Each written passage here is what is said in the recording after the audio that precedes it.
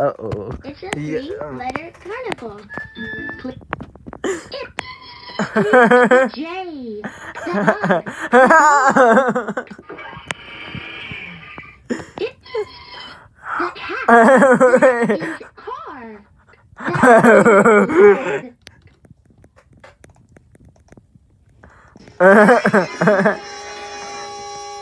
red.